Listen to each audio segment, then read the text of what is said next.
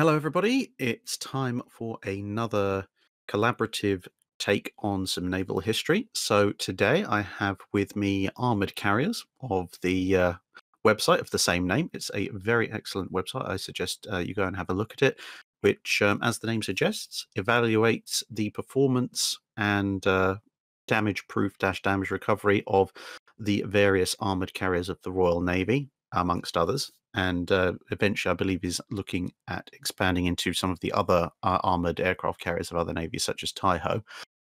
But uh, yeah, that that aside, he's obviously done a lot of work and a lot of research into the this particular branch of naval history, and so I thought we'd we'd have him along to talk about one particular incident, which was the bombing of HMS Illustrious during Operation Excess which uh, was the wonderfully titled, if uh, somewhat more mundane, convoy operation in 1941 in the Mediterranean, one of many. So, uh, thank you very much for joining us. And uh, thank you. Uh, do you, do you want to maybe uh, introduce yourself a little bit more? Yeah. um, no, look, I'm. I guess I'm very briefly. This has sort of been a bit of a, a hobby slash obsession of mine for, for oh shit, almost 20 years now. Time flies when you're having fun. Um, I sort of, I'm Australian, so I grew up hearing all about um, how Australia was saved at the Battle of Coral Sea and um, the uh, major successes and uh, of the U.S. Navy's um, carriers, and they were a major um, part of my youth growing up. I was always reading about the um, the different U.S. carriers and their designs and their operations and their and their missions. And just occasionally you'd sort of come across one or two sentences here or there relating to the Royal Navy carriers, but uh, never much more than that. Um, but come the late 1990s, there was a whole string of really interesting books about Franklin and Bunker Hill. And again, there were a few um, castaway sentences in those books relating to an incident which they compare, were comparing themselves to, which was the bombing of HMS Illustrious. And uh, I got somewhat frustrated uh, at the lack of information about that incident. So I decided to find it for myself. And from there, I've got this um, multiple dozens of pages website um, looking at all the various um, comings and goings and actions and reactions of uh, the Royal Navy's um, fleet carriers. Okay, very nice. And obviously, we're going to we'll look at one particular aspect today. So, as with uh, most of the other videos that we've done in this format, I will be asking questions and uh, pitching in with a, occasional bits of commentary, maybe some subsidiary questions as well. Uh, but since you're obviously the one who's done by far the more in-depth research on this particular bit, um, it will be mostly the information coming from yourself. So make sure you keep uh, keep me on track by uh, asking those questions. Otherwise, I might uh, end up end up rambling off down a uh, side street. So, well, that's always always good. We always encourage uh, side rambles of naval history here. So, um, we'll start off with the the first question. So, setting the scene somewhat before Operation Excess. Obviously, we know Illustrious had well had been the carrier that was present for the relatively successful attack on Taranto but what had Illustrious been getting up to between Taranto and her assignment to Operation Excess? Well, this was pretty much um, the high point of Royal Navy pre war carrier doctrine. Um, they saw the use of its carriers uh, in the Mediterranean as opposed to the Pacific, where it had a completely different doctrine. But in the Mediterranean and, and in the North Atlantic, the carriers were essentially floating cap bases, I suppose, although at the time they called them umbrellas. And uh, cap was a, a, bit more of a later development when you had very extensive um, fighter control rooms and radar tracking, radar plots. But uh, at this point, they still had the rudimentary uh, fighter tracking and fighter direction, but it was um, still just basically aircraft above the fleet being vectored towards contacts. Um, Illustrious, immediately upon its arrival, in the Mediterranean proved the value of this uh, doctrine, sitting in among the battleships and cruisers. Anytime a um, reconnaissance aircraft was spotted on radar, her fulmars were redirected to either shoot it down or scare it off. And um, so, for the first time since the outbreak of war in the Mediterranean, the Royal Navy had essentially a bubble of air control around its fleet wherever it went. So therefore, it was much more happy uh, to, shall we say, put itself in the way of danger a little bit more so than it had previously. So yeah, so she's she's basically protecting the fleet, uh, maybe conducting the odd strike against whatever targets become available. Um, but obviously, her, her main role at this point is fleet defense. So fleet, fleet defense and support, yes. So uh, yeah. her ASW aircraft would be you know, floating, uh, uh, scouting the perimeter, but also occasionally taking the odd um, torpedo run against uh, Italian torpedo uh, Italian convoys if they were anywhere nearby. Also dropping flares for um, any sort of bombardment mission at night uh, and the likes. But primarily, yes, just a essentially a um, floating air superiority ship. Mm-hmm. So in that vein, what was her role being assigned to Operation Excess, the the convoy run that she was she was uh, put onto at this point? So yeah, pretty much exactly that. Uh, Excess wasn't actually a mundane um, convoy; it was actually one of the biggest convoys of the war altogether. It was um, the realization through British intelligence that um, the Germans were coming, that they were not just sending uh, bombers and fighters to Sicily, but they were also planning on sending Rommel into North Africa. So they realized that uh, Malta would likely soon be in trouble, and they realized that uh, fairly soon the center of the Mediterranean would be blocked off. So they tried one last big rush of convoys from Gibraltar to Malta and to Alexandria, and from Alexandria to Malta and to Gibraltar. So both directions. So coming up from Alexandria was um, the uh, fleet, I think it was Force A with uh, Illustrious and the two modernized Queen Elizabeth battleships, Queen Elizabeth and, uh, sorry, uh, it was Valiant and um, Warspite. Um, and from the other direction, it was Ark Royal, um, covered with Renown and uh, various other vessels. So they were both covering convoys towards Malta. And the carriers were doing their job of um, interdicting um, reconnaissance to prevent and disrupt any follow-up attacks. And if follow-up attacks were detected, then their while their Fulmars weren't likely to uh, to be able to chop them all out of the sky, they could most certainly disrupt any high altitude bombing runs or any uh, low altitude um, torpedo runs. Right, and I suppose that leads us on to then the next question, which is that obviously the uh, Italians and the Germans had a rather distinct desire to make sure these convoys did not arrive at Malta, at least intact. So, what was the first opposition that Illustrious encountered, and how did her air group and her umbrella of Fulmars cope with that? So, there was actually a little bit more than just excess, because at this point, um, Mussolini and Hitler were somewhat irritated at Illustrious. Um, Taranto had been a rather rude shock and pretty much the direct order to the commander of Fliegerkorps 10 was to sink the Illustrious. That was his primary goal. Um, disrupting the, the, reinforcement of Malta was uh, a nice secondary objective, but um, Illustrious was what they wanted. So to that end, they sent Stukas, Heinkel 111s, and Ju-88s to Sicily. They built out of uh, floating buoys and uh, streamers and the likes just off the coast, an outline of Illustrious's hull, and they practiced bombing it. Um, that was such was the intent of getting Illustrious. It was revenge. Um, basically, from the moment Illustrious left and Force A left Alexandria, uh, the um, the Shadowers began to follow, and the Fulmars. Look, the, the problem with the Fulmar was if it wasn't already in position over the fleet, it had difficulty intercepting the um, fast uh, Ju-88s in particular, but also the um, Italian reconnaissance aircraft, because it needed the speed of a dive. It, it had atrocious climb climb rate, but it had a very good dive rate. So on those instances when the um, shadowers were spotted while there was a cap up, it would often get shot down if the shadower was spotted before the Fulmars were in position, it would be able to make a pass over the fleet and head back home.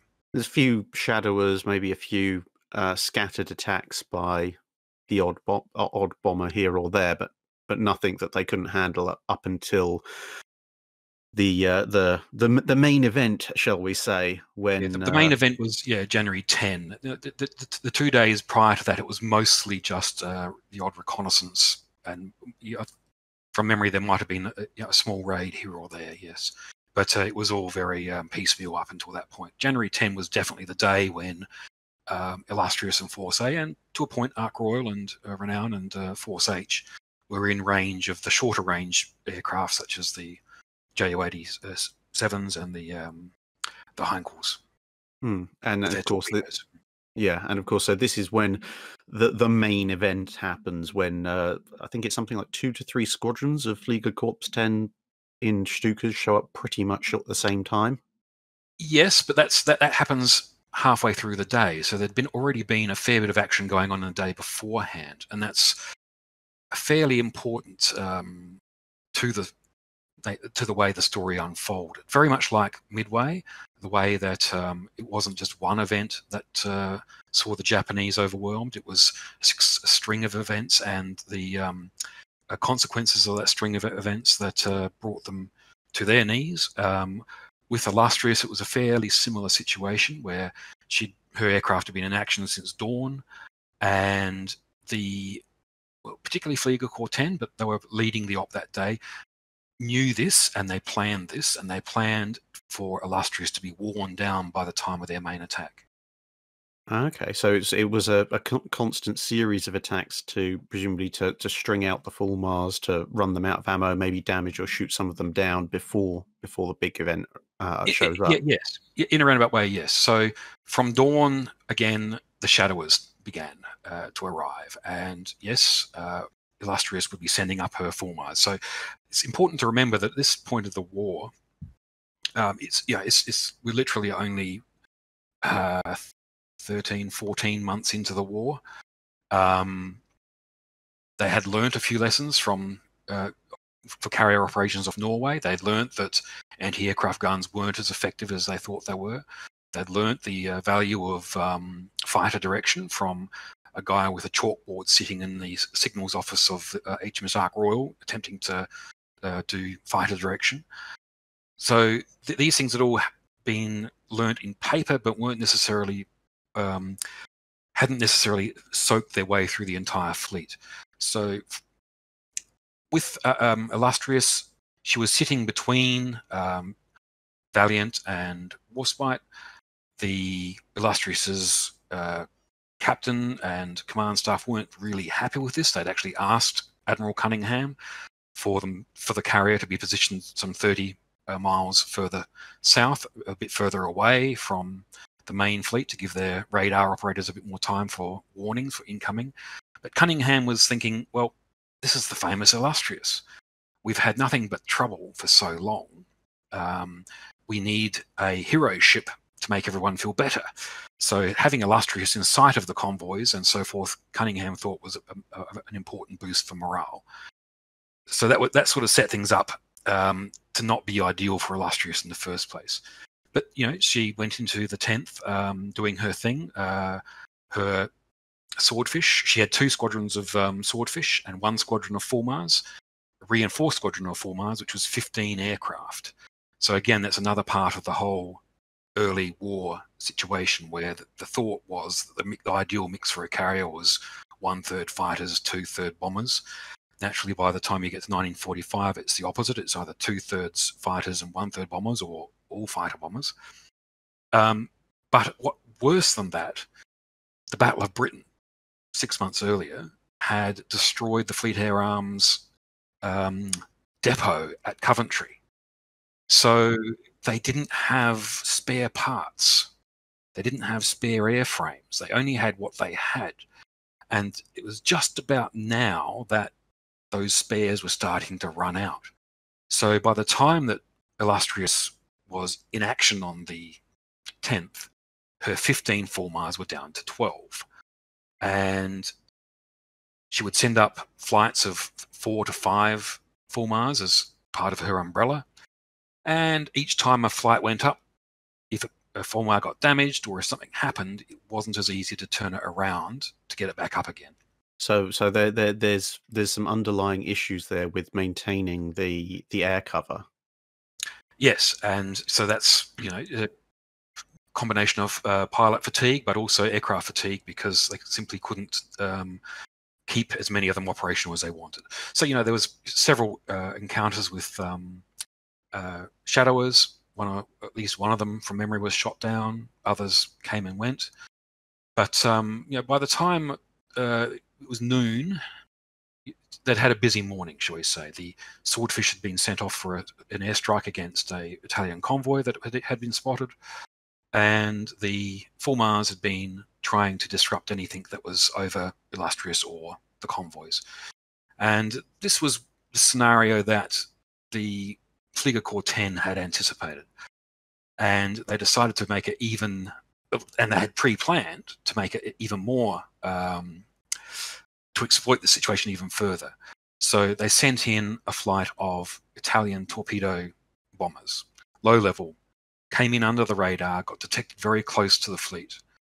And naturally, the the order went out, you know, dive, dive, dive, go and get these um, get these torpedo bombers. The Fulmars, I think there was four or five above the fleet at, the, at that time. Um, traded their one big advantage, height, to get down low to try and disrupt these torpedo bombers. The torpedo, torpedo bombers only turned out to be two. There wasn't a major attack, but it was only but those two was enough to pull the fighters down. The fighters were only able to engage those torpedo bombers after they dropped their torpedoes, and then the fighters fixated on those two torpedo bombers and chased it off towards uh, the island nearby, which was a, um, a small island nearby which had an Italian airfield. So that drew the Fulmars down and also drew them away from the fleet. Naturally, this was plan- this being planned as that was happening. The Ju-87s and uh, Heinkels were launching and preparing, um, get, getting in, uh, form, creating their formations over Sicily. So it was about quarter past 12 when these began to be picked up on radar, and Illustrious's fighter control operators realized that uh, they were in trouble. So this this is yeah. I mean, there, there's shades of midway, I think, to a certain extent there with the with the fighters being drawn down to to the low level to deal with torpedo bombers, um, thus opening the ship up for for dive bomber attack. But as compared to Midway, where that all seems to have been a little bit of a happy accident, at least as far as the U.S. Navy is concerned. In this case, this is actually a deliberate deliberate ploy by Fliegerkorps 10 specifically to decoy away any fighter cover that the, the carrier might have before they go in with the big punch. Yes, it was definitely. Well, well apparently, the from my reading, um, I haven't actually been able to find many German documents myself, but um, every indication from multiple sources is that yes, it was part of a plan. You've got to remember that Fliegerkorps 10 was Germany's specialist anti-shipping unit, and it was also the corps that was had been planned to provide the aircraft and air crew for Graf Zeppelin. So mm-hmm. they had a good idea of what they were doing, and they'd also been in practice. They'd, they'd also had uh, experience off Norway and in the North Sea, so they knew how to deal with moving ships and they knew how to deal with fighter cover by this stage. So they put all that experience into effect.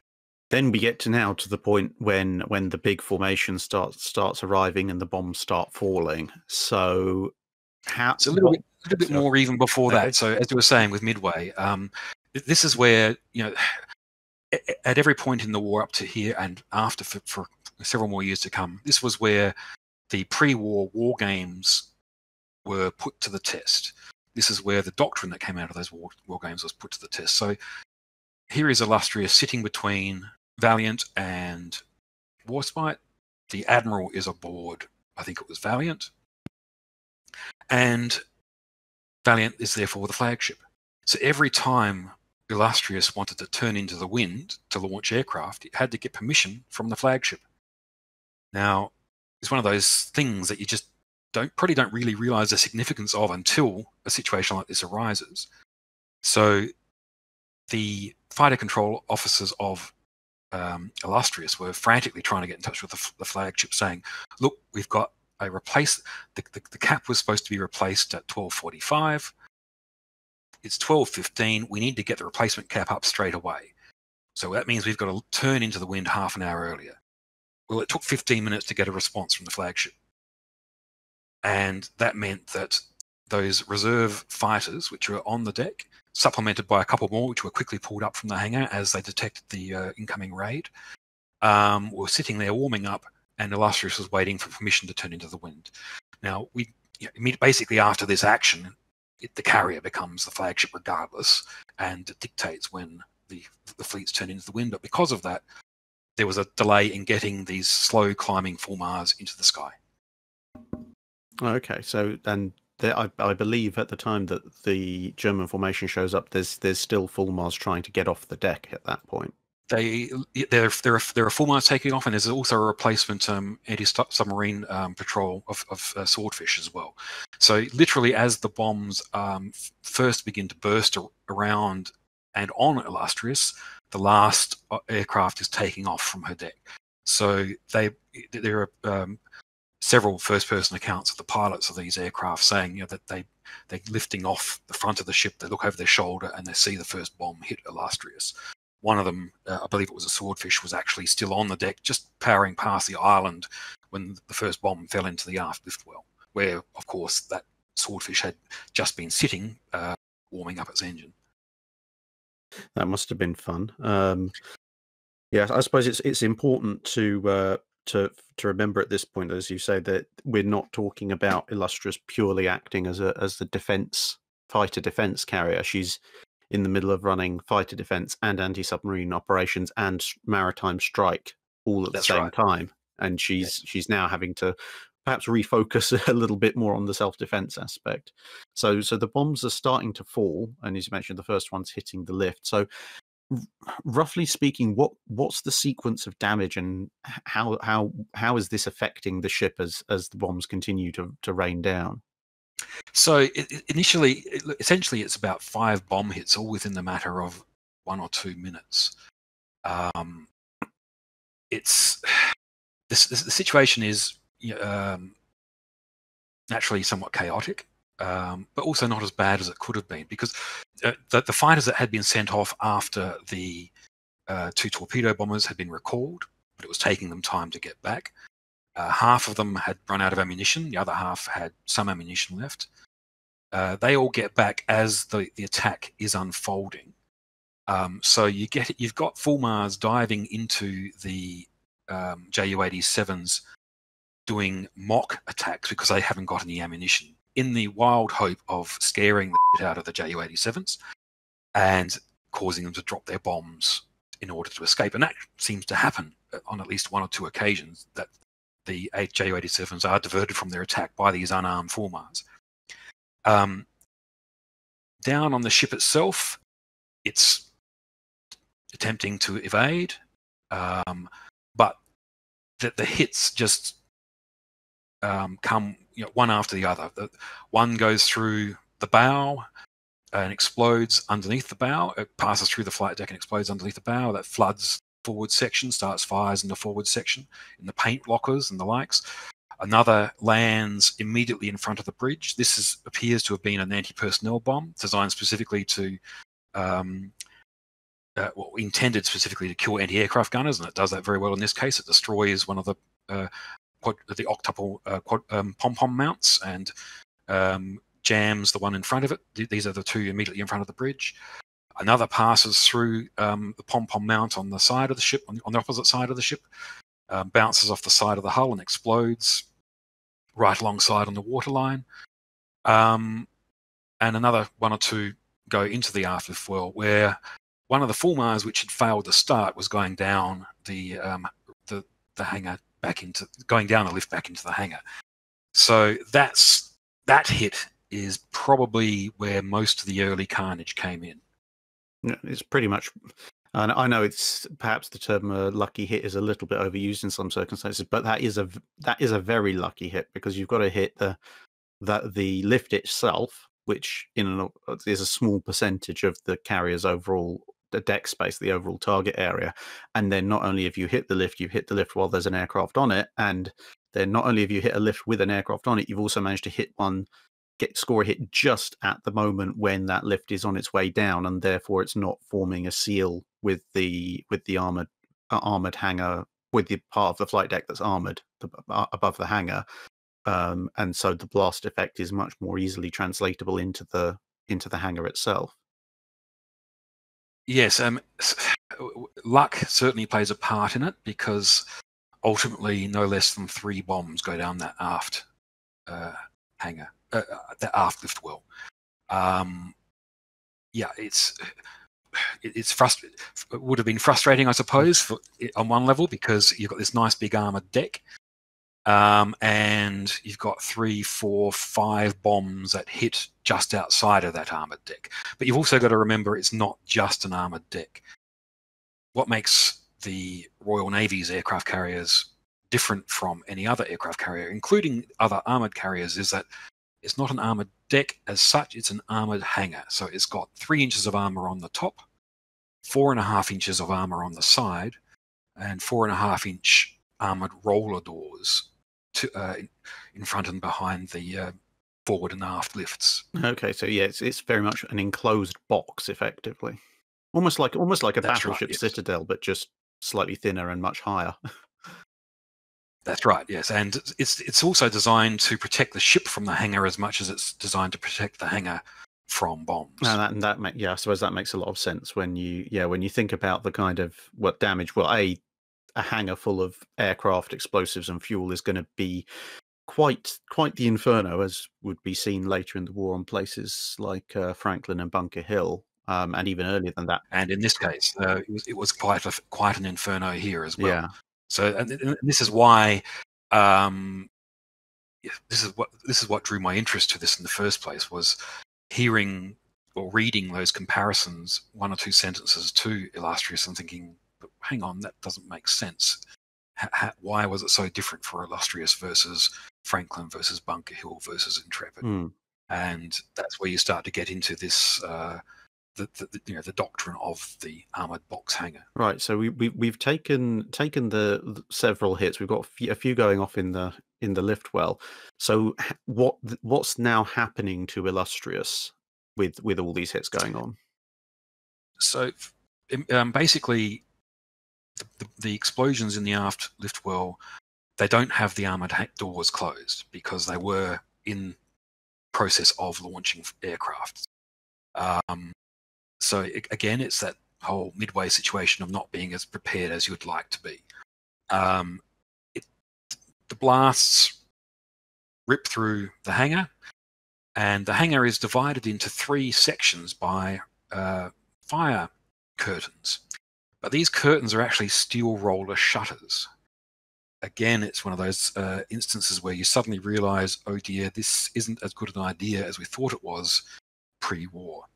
Those steel shutters fragment and spear through the hangar um, in thousands of red hot splinters, um, cutting through aircraft, cutting through equipment, and um, cutting through hangar crew. Um, it was you know those hits which pretty much put um, Illustrious out of action as a carrier because of, of that the extent of damage. It, it also um, caused the forward lift to pop up, um, but it set off the fires in the aft hangar most intensely. But it was also about this point, after those first bombs went through the rear lift, that Illustrious's Ah, armor deck was itself pierced.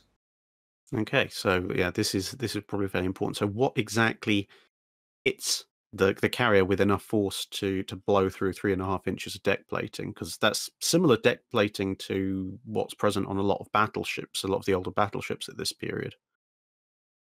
Oh, this is where a lot of the confusion comes in, and I think the fault or the cause of this confusion is Britain's stricter secrecy uh, provisions post-war. So immediately after the action, when Illustrious makes it back to Malta, spoiler alert, mm-hmm. she makes it back to Malta, um, her captain sends off a damage report to the Admiralty in London. And in that damage report, he gives a fairly detailed list of what happened, but he blanket attributes all of the bomb hits to 1,000 pound, 500 kilogram bombs. And unfortunately, most historians have focused on that report. After Illustrious was uh, made her way to the United States. United States naval engineers went over the ship centimeter by centimeter, pulling out every piece of bomb fragment, every uh, measuring every bomb hole, doing the whole forensic analysis thing because they wanted to learn about the realities of war. So did the Royal Navy. And it wasn't a, a 1,000 kilogram bomb. Uh, sorry, it wasn't a 1,000 pound bomb. It was a 1,000 kilogram bomb. 2,200 um, pound. The Germans have got a variety of that size. Generally, they're called ESOL, I think. Um, very big. A Ju-87B could barely carry them. Ju-88s could carry them, and there's video footage of them being uh, wheeled around the one runways in Sicily at that time, so we know that they were there. Mm. Um, it was one of these was was was dropped dead accurately on the center line, hit the deck.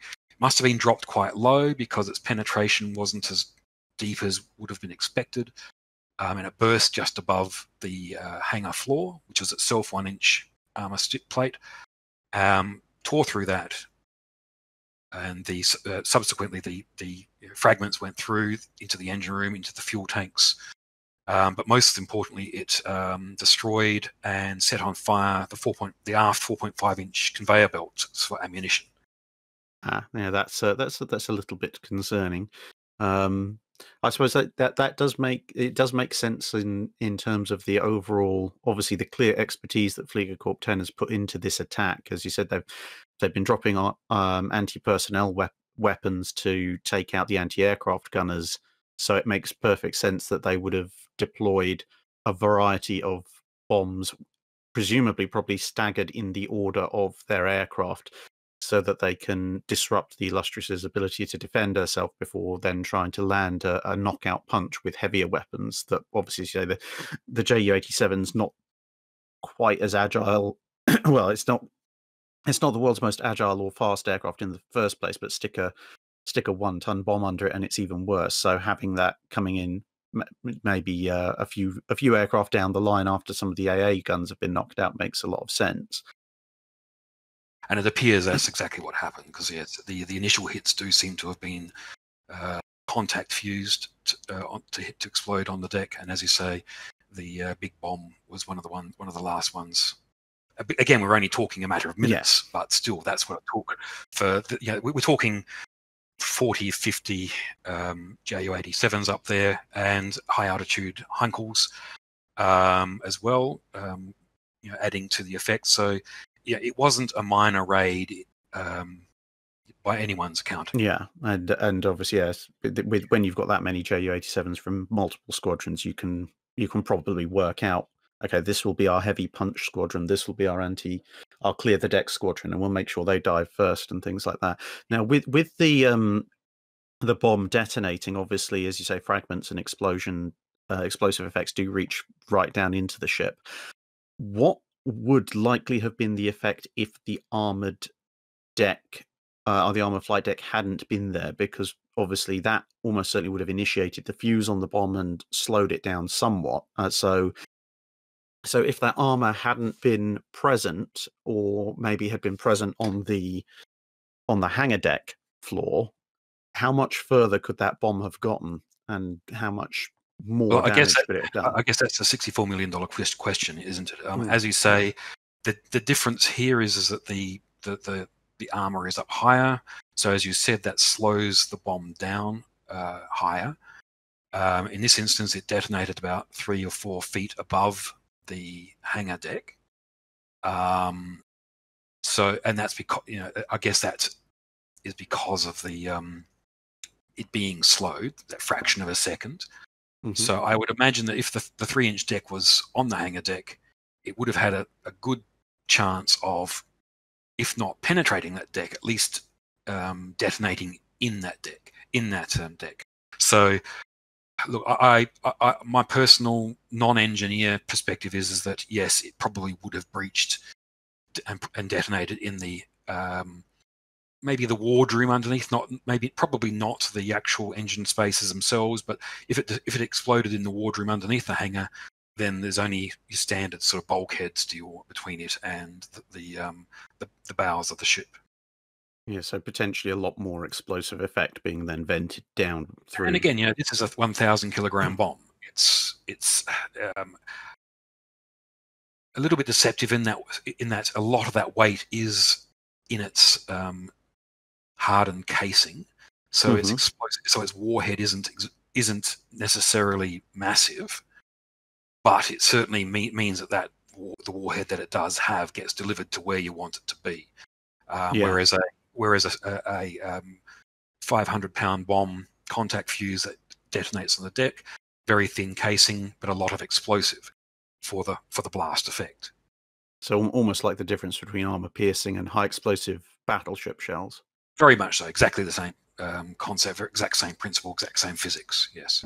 This is uh, sort of the the big hit, as it were. So, and as we said, we, that that's hit the that's gone through to the engine spaces. So, what happens to Illustrious now? Presumably, it's losing speed. Okay, well, it's, it's only fragments that go to the engine spaces, so the engines Mhm. actually are, are actually okay. Um, Okay. so the, the, there's there's not a lot going on there. Um, the engine spaces are f- filling with smoke. There are fires raging on the decks above the engine engine spaces, and very quickly we're talking, you know, six degrees centigrade. I'm not sure what that is uh, Fahrenheit uh, temperatures. So you've got um, crews basically having to douse themselves in water from the distillers to keep themselves going. Um, some of them are passing out in the heat. All of them are ordered to stay at the station, keep the ship going. So you know, it, it's Illustrious manages to maintain 25 knots, if not more, pretty much the whole action. But the intensity of the hits in the stern um, lift well uh, and several near misses right on the stern as well causes the rudder space to flood. So the the the the, the um, main uh, rudder control room, rudder power room, floods, and Illustrious loses uh, control, loses power to her rudder. so yeah, so that, as the attack is unfolding. So there's there are still follow up attacks at this point, Mhm. and uh, she- she's lost control. So she's having to frantically put up the uh, signals. You know, um, I'm not under control uh, to warn uh, Valiant and Warspite to get out of her way. right, yeah, and of course with with the rudder disabled, that makes evasion a little bit more difficult as well. Yes. um, it's a situation where they get it going again for a short bit of time through uh, basic damage control. Then they lose control after five or ten minutes. They turn on the auxiliary um, motors for the rudder, which is steam powered. They also fail after a few minutes.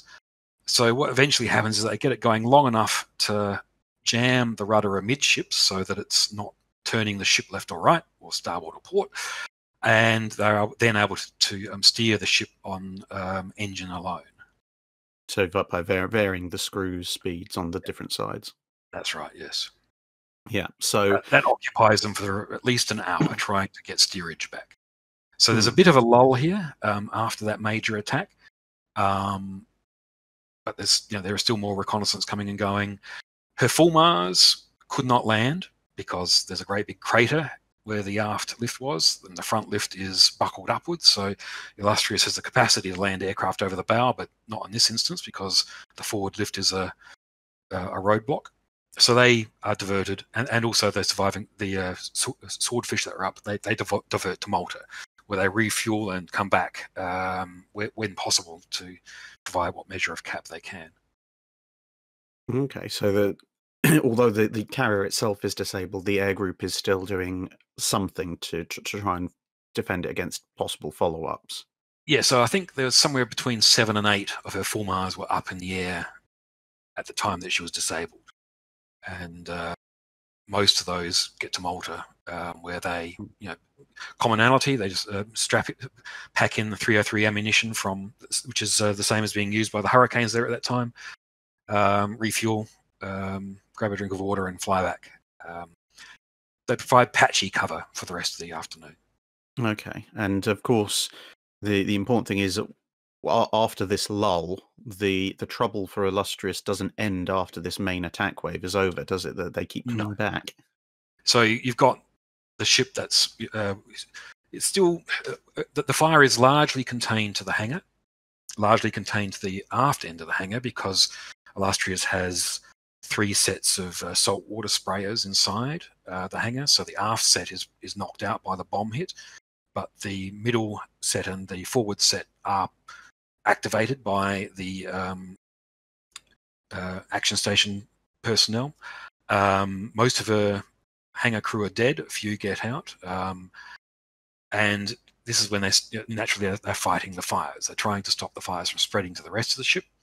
Um, there's some concern about the fires in the forward in the bow because they're not far from the forward um, 4.5 inch uh, magazines and the fire in the back of the ship is pretty much out of control and it's fairly hard for anyone to get back there because it's just a tangled ma- uh, mass of steel so all through this time illustrious manages to maintain electrical power most of the time except for a few scary flickers um, the telephone network which is run through um, uh, armored trunking inside the ship is also still mostly working, so the damage control personnel are able to keep in touch with their different uh, parties. Um, and the ship is doing the best it can to get to Malta.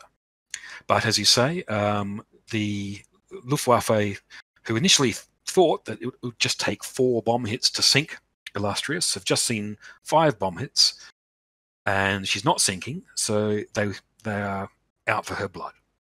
And yes, there's uh, several more follow up attacks. One by the Italian um, Stukas, uh, which presses its attack. It's not as coordinated as the initial attack, which is pretty much just as well. Um, but they still managed to land another bomb hit in the aft lift well. they might as well have painted a bullseye on that thing, the way this is going. Well, yeah, there, there, must have been a magnet underneath it or something. Um, but that that explosion, unfortunately, kills a large number of the damage control personnel fighting the fires in the hangar. Um, and another explosion, a near miss from this attack, kills a lot of the uh, damage control plus medical personnel on the ship's quarterdeck, um, at the very stern of the ship, uh, treating patients uh, and also attempting to control the fires back there. Okay. So she she's still under attack, but as you said earlier, spoiler alert, she does actually make it to Malta. Um, yes, so it's, it's, it's, con- it's so you know for, for, the for the rest of the afternoon, you know, from this all started about quarter past twelve. For the rest of the afternoon, there's high altitude attacks from you know Heinkel's or Italian bombers. There's a couple of um, attacks from Stukas, and yeah, she's but she's still motoring along at 25 knots and still able to steer. She's got a couple of destroyers in accompaniment. Uh, Valiant and Warspite stay for a good amount of time before they have to break off and go and look after the rest of the convoy. But uh, even as she's pulling into Malta, uh, and and the sun is pretty much going below the horizon, there's another attack um, or attempted attack by two aircraft.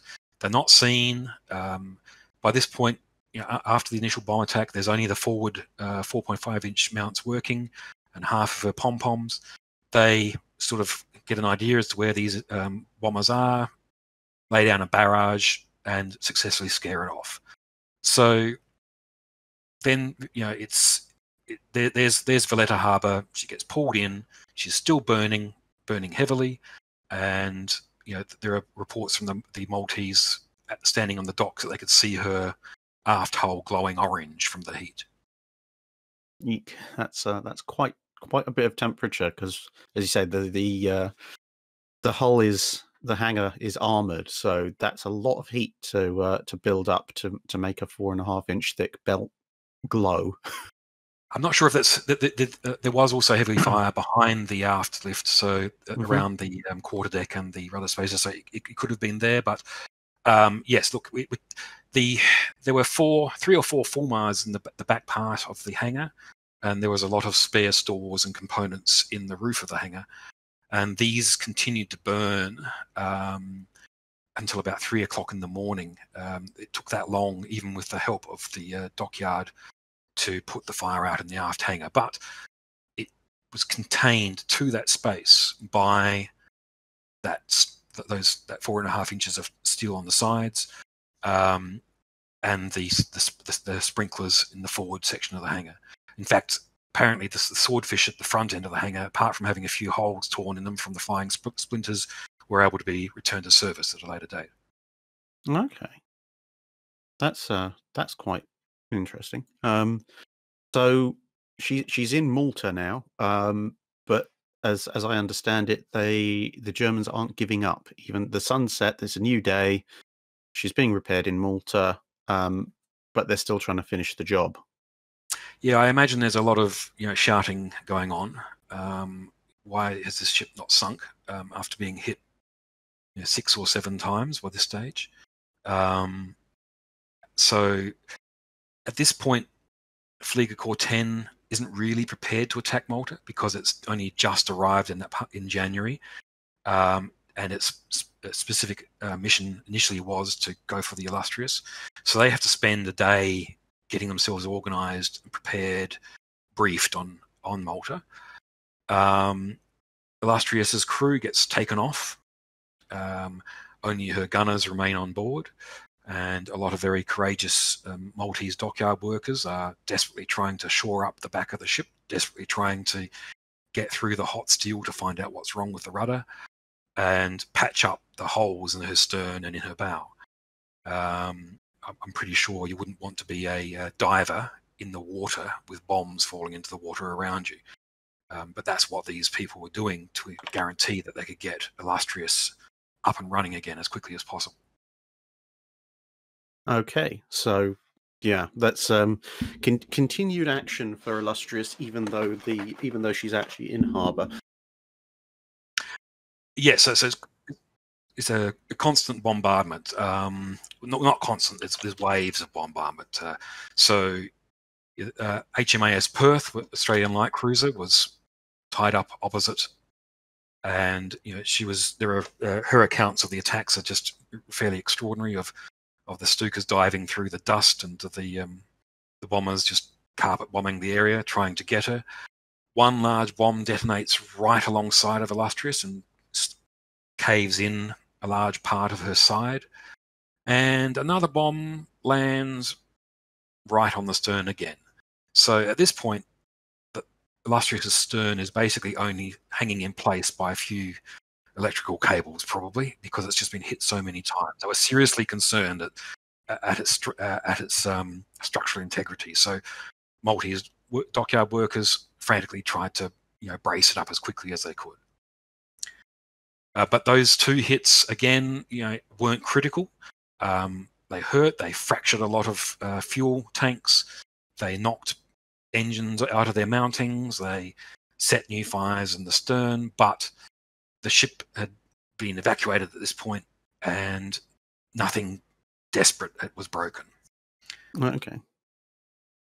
So then, with, with that, presumably they they managed to patch the ship back into some form of, of seaworthy state, but she obviously can't stay there, and Malta's not equipped to completely refit her anyway. So, no. She... So this is basically the first Malta Blitz. It was called the Illustrious Blitz, and it's the 1st mm-hmm. uh, of the you know of what was to come for the next two or three years. You know, attack after attack after attack on the town, the harbour, the shipping, anything, uh, the, the, the, airfields. It was it was the start of the whole, uh, or the, the high intensity attacks on Malta. So yeah, after several days, they get Illustrious up to a point where she can, um, she's watertight, and they she, she's got she's detailed to head out to sea and meet up with some cruisers and get an escort back to Alexandria.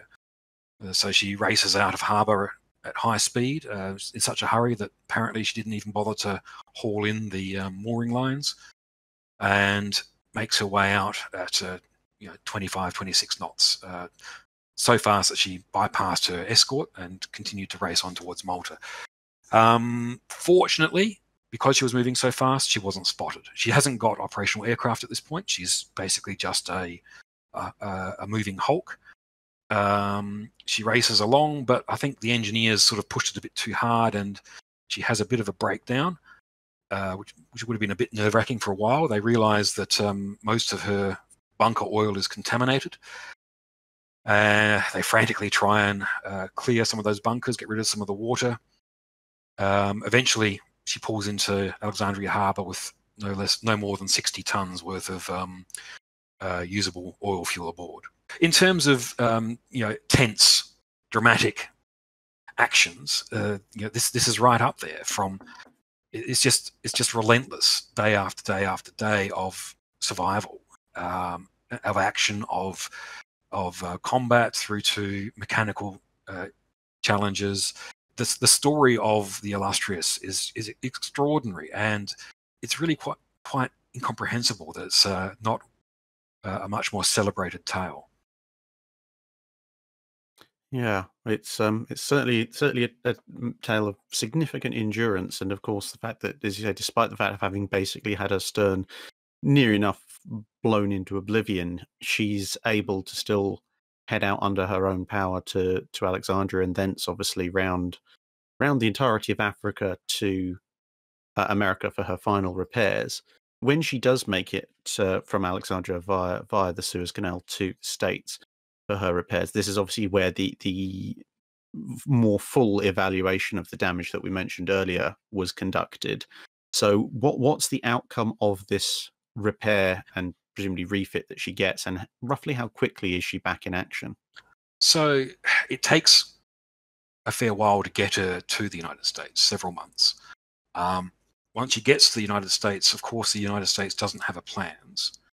Um, it's not easy for Norfolk Navy Yard to repair it because you've got to remember the British use different standards of everything from bolts, bolt styles to thread styles to fittings to attachments.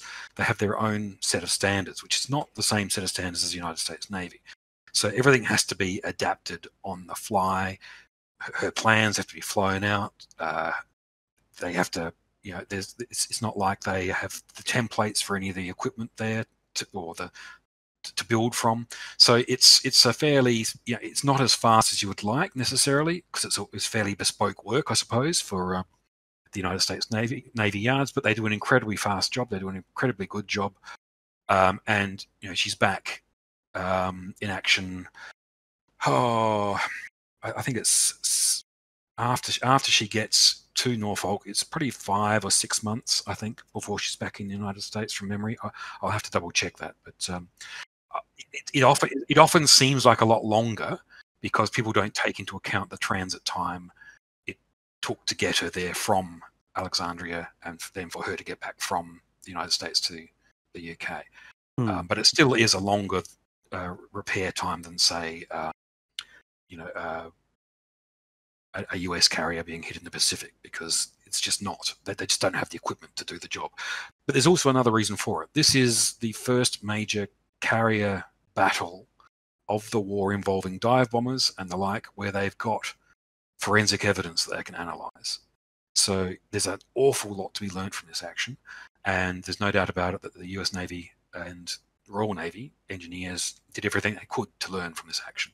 So you will see on my website the uh, I've reproduced um, the damaged, the extensive after action uh, um, damage control report that was formed in Norfolk Naval Yard uh, extensive photographs which show you just the extent of the damage inside the ship, how the stern is just basically a twisted mess, um, and the drawings showing all the, diff- the different uh, angles and locations and uh, of damage.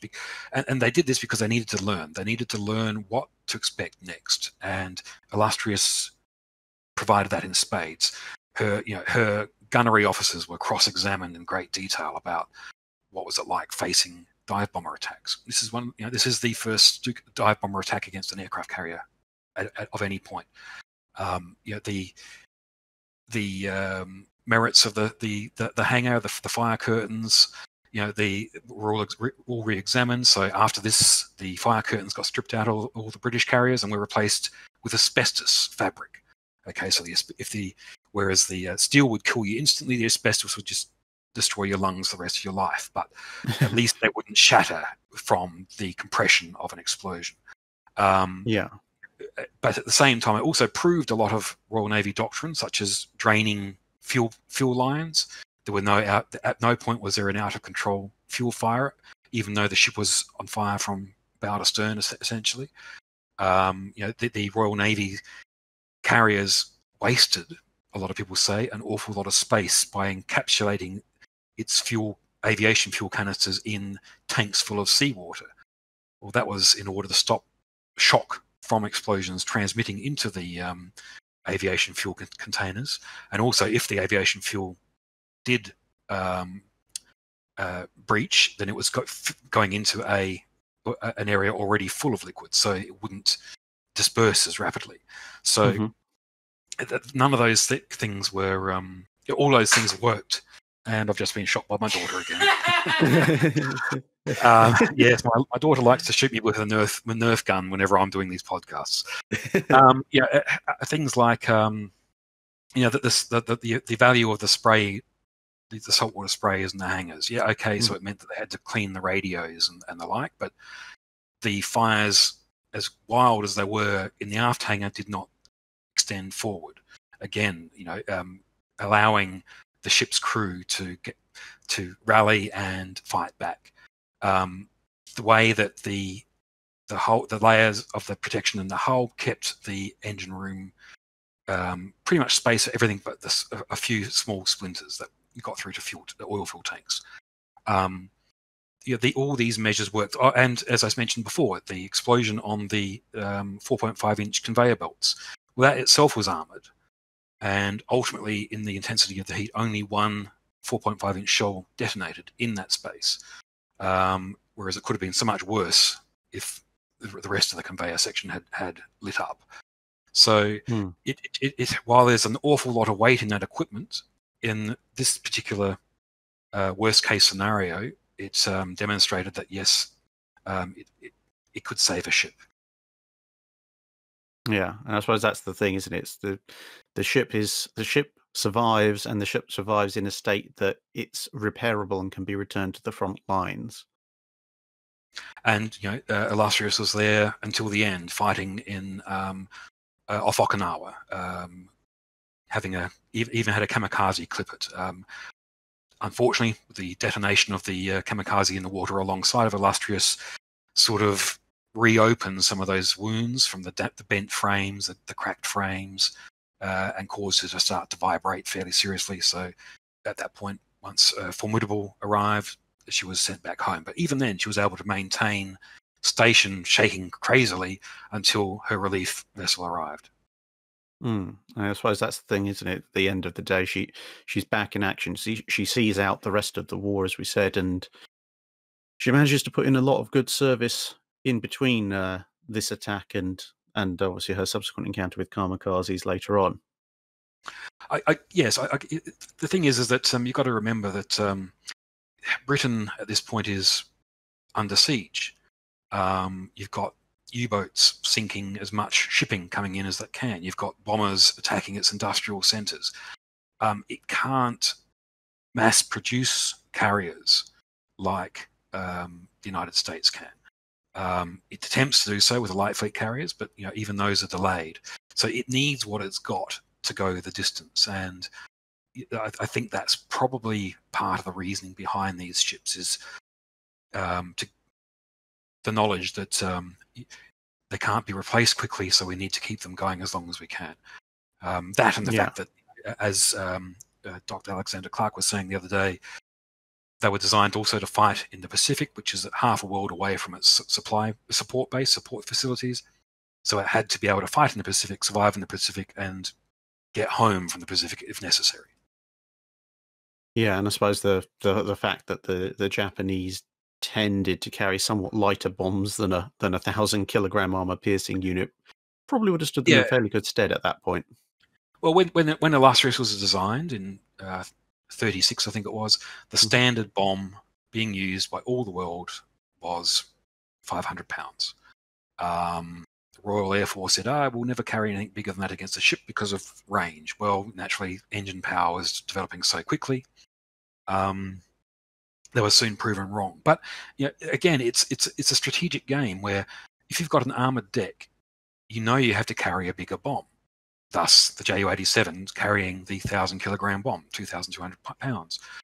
Um, but it could only carry that in a short radius, and that radius was barely Malta. Mm-hmm. So it's only because Illustrious went that close to Malta that it exposed itself to that weight of bomb. If Illustrious was further out, she would have only have been in range of the Ju-87Rs, which could only carry 500 um, pound bombs. So it's it, this is the trade-off that um, is inherent in any form of um, naval doctrine or air, air doctrine, for that matter. Hmm. Yeah, so yeah, it's, it's, it's a trade off. How, as you say, how closer you get to the enemy, the more they can throw at you. but That's I suppose right. at the same time, you you you can then get closer to the enemy in this case. Um, I mean, yeah, you don't come out of it without a few scars, but you'd at least it's not the bottom of the sea. There's no doubt that Cunningham made a mistake here in sending Illustrious that close. Um, but like you say, I don't think he was expecting uh, anyone to be carrying a uh, 1,000 kilogram bomb uh, at that point. Yeah, and I suppose at the same time, as, as well as obviously, the, there's a, there's a lot to be said for the durability and uh, capability of the Illustrious. A, a fair bit has to be put, um, a fair bit of credit has to go to the commanders and pilots of Fliegerkorps 10 who set up uh, this multi-stage, very complicated, I might add, multi-stage attack, multiple t- forms of ammunition uh, and payload, specifically geared to taking down the defenses um, and then hitting a carrier like this very hard. And obviously, they, they didn't quite succeed in putting it down, but They uh, certainly it- put her out of action when she was needed. There's no doubt about that. Um, yeah, been, yeah, I'm sure that Cunningham would have loved to have had two fleet carriers um, in the following year, but he only had Formidable. Um, And you know, if if Illustrious had been there with Formidable at Matapan, well, it might have been a much a different outcome there. So you know, it's uh, yeah, it, there's there's there's multiple layers of um, success and defeat involved in, in these things. Uh, a mission kill is often just as valuable as a you know, a hard kill.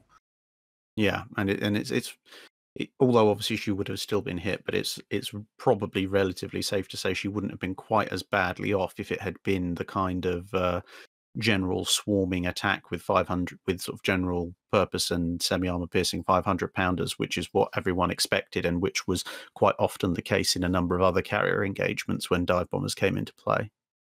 Uh, yeah, for sure. But um, again, it, it's just so hard to say, isn't it? You know, uh, Hmm. her it, her entire deck wasn't armored. It was only the area containing the, uh, you know, the volatiles. So you know that she still had, you know, as was shown in this action, she had Achilles' heel. Her stern was torn up. Her bow was hurt, but it wasn't, you know, done in. Um, so you look, know, it, all it takes is just a lucky hit and I think that happened. You know, that's evidenced in in- so many actions. It just everything just depends on where that bomb or that shell lands. And in this instance, um, several bombs landed exactly where Fliegerkorps 10 would have loved them to. Mhm. Um, however, a few too many landed in the one spot. They probably would have liked those bombs to have scattered themselves around a bit further around the ship. Yeah, Um, yeah. There's, there's only so much you can kill in one part of a ship before everything's dead. Yes. Yeah. Yeah.